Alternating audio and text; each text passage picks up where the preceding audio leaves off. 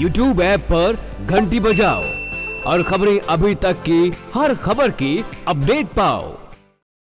अब बात ज्वाली की, जहाँ पर स्कूली बच्चे और ग्रामीण पीने के पानी की समस्याओं से जूझ रहे हैं। स्कूल एसएमसी कमेटी के प्रधान कुलवंत सिंह का कहना है कि गाँव में एक निश्चित समय के लिए पानी आता है और कहा कि कुछ समय पहले लगे हैंडपंप से स्कूली बच्चों और आम लोगों को पूरा दिन पानी मिलने लगा था। लेकिन अभी हैंडपंप के खराब होने से आम लोगों के साथ स्कूली बच्चों की भी दिक्कतें बढ़ गई हैं क्योंकि उन्हें पीने के लिए पानी नहीं मिल पा रहा। लोगों का कहना है कि इस मामले में कई बार पूर्व के कांग्रेस विधायक नीरज भारती को अवगत कराया गया था और अभी नवनिर्वाचित बीजेपी विधायक को भी इस समस्या से अवगत कराया गया है। लेकिन अभी तक किसी तरीके की कोई कार्रवाई नहीं हो पाई है।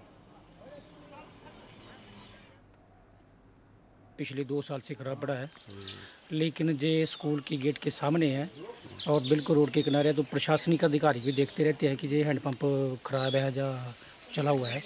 तो डिपार्टमेंट जो भी कोई भी आई पी एच हो या पी डब्ल्यू या कोई भी अधिकारी, वो सामने से देखता रहता है जी। तो आज तक दो साल से कोई कार्रवाई नहीं हुई इसकी। इससे परेशानी ये होती है कि जब कभी स्कूल के बच्चे मोटर ट्यूबवेल ख़राब हो जाता है या कभी पानी की प्रॉब्लम आती है तो बच्चे हैंडपम्प से पानी पी सकते हैं। लेकिन इसके बंद होने के कारण तो ये दिक्कत आती है जहाँ पे जी।